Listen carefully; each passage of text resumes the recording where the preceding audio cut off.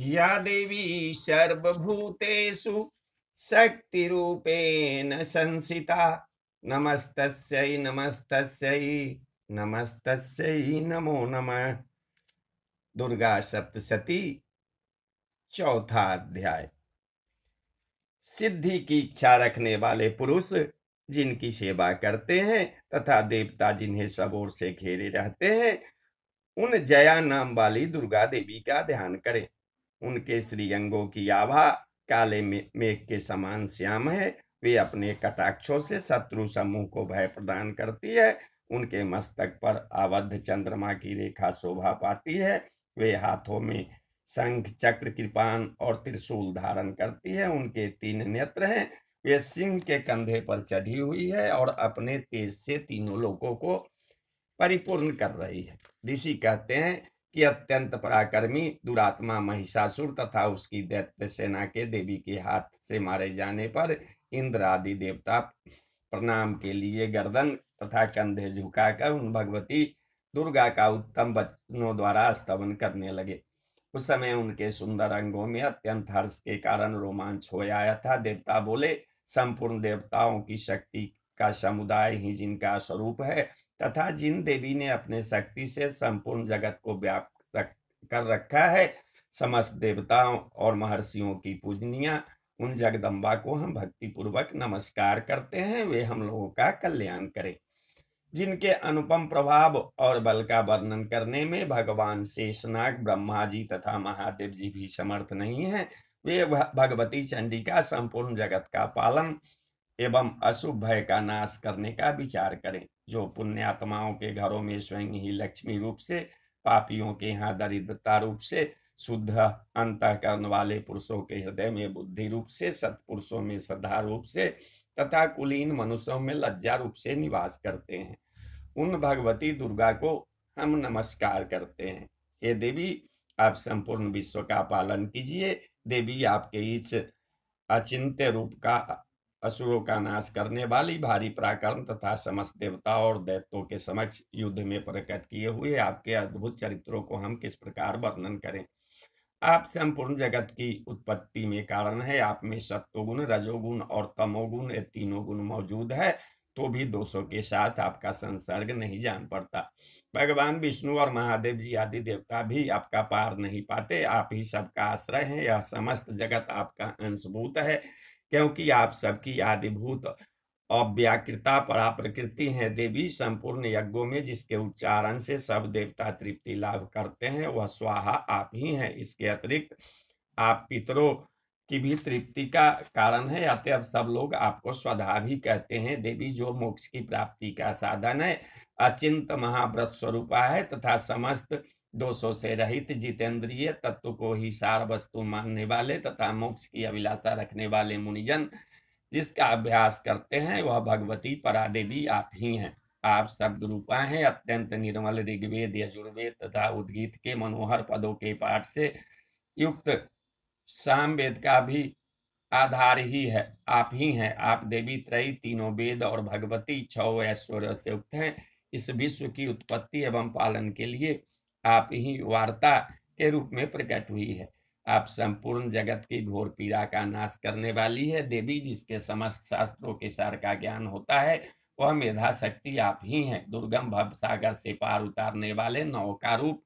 दुर्गा देवी आप ही हैं। आप ही कहीं भी आस, आपकी कहीं भी आसक्ति नहीं है। कैटब के शत्रु भगवान विष्णु के वक्षस्थल में एकमात्र निवास करने वाली भगवती लक्ष्मी तथा भगवान चंद्रशेखर द्वारा सम्मानित गौरी देवी भी आप ही हैं।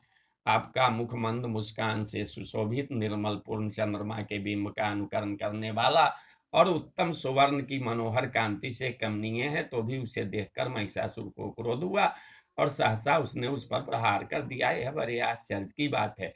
देवी वही मुख जब क्रोध से होने पर उदय काल के चंद्रमा की भांति लाल और तनी हुई भावों के कारण विकराल हो उठा तब उसे देखकर जो महिषासुर के प्राण तुरंत नहीं निकल गए वह उससे भी बढ़कर आश्चर्य की बात है क्योंकि क्रोध में भरे हुए यमराज को देखकर भला कौन जीवित रह सकता है? देवी आप प्रसन्न हो। परमात्मा पर, परमात्म स्वरूप आपके प्रसन्न होने पर जगत का अभ्युदय होता है और क्रोध में भर जाने पर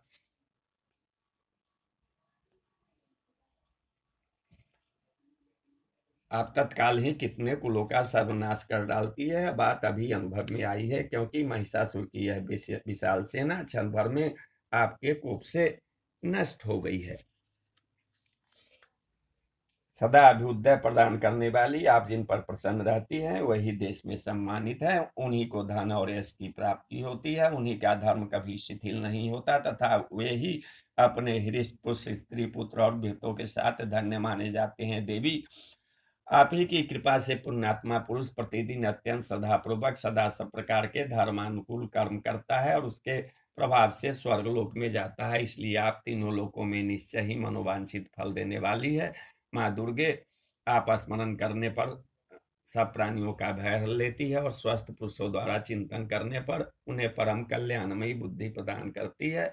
दुख, दरिद्रता और भय हरने वाली देवी आपके शिवा दूसरी कौन है जिसका चित्त सबका उपकार करने के लिए सदा ही दयाद्र रहता हो? देवी, इन राक्षसों के मारने से संसार को सुख मिले तथा ये राक्षस चीरकाल तक नरक में रहने के लिए भले ही पाप करते रहे हो, इस समय संग्राम में मृत्यु को प्राप्त होकर स्वर्ग लोग में जाए। निश्चय ही यही सोचकर आप शत्रुओं का वध करती है। आप शत्रुओं पर शस्त्रों का प्रहार क्यों करती है? समस्त असुरों को दृष्टिपात मात्र से ही भस्म क्यों नहीं कर देती? इसमें एक रहस्य है, ये शत्रु भी हमारे शस्त्रों से पवित्र होकर उत्तम लोगों में जाए। इस प्रकार उनके प्रति भी आपका विचार अत्यंत उत्तम रहता है।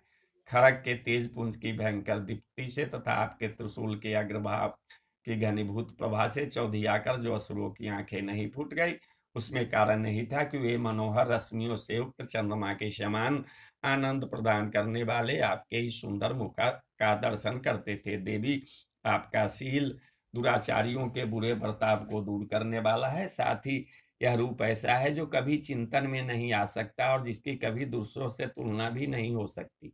तथा आपका बल और पराक्रम तो उन दैत्यों का भी नाश करने वाला है जो कभी देवताओं के पराक्रम को भी नष्ट कर चुके थे। इस प्रकार आपने शत्रुओं पर भी अपनी दया ही प्रकट की है। वरदायनी देवी आज की, आपके इस पराक्रम की किसके साथ तुलना हो सकती है? तथा शत्रुओं को भय देने वाला एवं अत्यंत मनोहर ऐसा रूप भी आपके सिवा और कहाँ है? हृदय में कृपा और युद्ध में निष्ठुरता। ये दोनों बातें तीनों लोग के भीतर केवल आप ही में देखी गई है, माते। आपने शत्रुओं का नाश करके इस समस्त लोक की रक्षा की है। उन शत्रुओं को भी ये दुभूमि में मारकर स्वर्ग लोक में पहुँचाया है तथा उन्मत्त दैत्यों से प्राप्त होने वाले हम लोगों के भय को भी दूर कर दिया है। आपको हमारा नमस्कार है। देवी, आप सूल से हमारी रक्षा करें। अंबिके, आप खड़क से भी हमारी रक्षा करें। तथा घंटा की ध्वनि और धनुष की टंकार से भी हम लोगों की रक्षा करें। चंडिके पूर्व, पश्चिम और दक्षिण दिशा में आप हमारी रक्षा करें तथा ईश्वरीय अपने त्रिशूल को घुमाकर आप उत्तर दिशा में भी में भी हमारी रक्षा करें। तीनों लोगों में आपके जो परम सुंदर एवं अत्यंत भयंकर रूप विचरते रहते हैं, उनके द्वारा भी आप हमारी तथा इस भोलोक की रक्षा करें। अंबिके, आपके कर पल्लवों में शोभा पाने वाला खड़ग सूल और गदा आदि जो जो अस्त्रों, उन सबके द्वारा आप सब ओर से हम लोगों की रक्षा करें। इस प्रकार जब देवताओं ने जगन माता दुर्गा की स्तुति की और नंदन मन के दिव्य पुरुषों एवं गंध चंदन आदि के द्वारा उनका पूजन किया फिर सबने मिलकर जब भक्ति पूर्वक दिव्य धूपों धूपों की सुगंध निवेदन की, तब देवी ने प्रसन्न बदन होकर प्रणाम करते हुए सब देवताओं से कहा, देवी बोली, देवताओं, तुम सब लोग मुझसे जिस वस्तु की अभिलाषा रखते हो, उसे मांगो। देवता बोले, भगवती ने हमारी सब इच्छा पूर्ण कर दी है, अब कुछ भी बाकी नहीं है, क्योंकि हमारा यह शत्रु महिषासुर मारा गया है। महेश्वरी, इतने पर भी यदि आप हमें और बर देना चाहती है तो हम जब जब आपका स्मरण करें, तब तब आपका दर्शन देकर हम लोगों के महान संकट दूर कर दिया करे तथा प्रसन्न मुखी अंबिके, जो मनुष्य न स्त्रोतों द्वारा आपकी स्तुति करे, उसके बीच समृद्धि और वैभव देने के साथ ही उसकी धन और स्त्री आदि संपत्ति को भी बढ़ाने के लिए आप सदा हम पर प्रसन्न रहें। ऋषि कहते हैं कि राजन देवताओं ने जब अपने तथा जगत के कल्याण के लिए भद्रकाली देवी को इस प्रकार प्रसन्न किया, तब ये तथा हस्तु कहकर वही अंतर ध्यान हो गई। भूपाल इस प्रकार पूर्व काल में तीनों लोगों का हित चाहने वाली देवी, जिस प्रकार देवताओं के शरीर से प्रकट हुई थी, वह सब कथा मैंने सुनाई।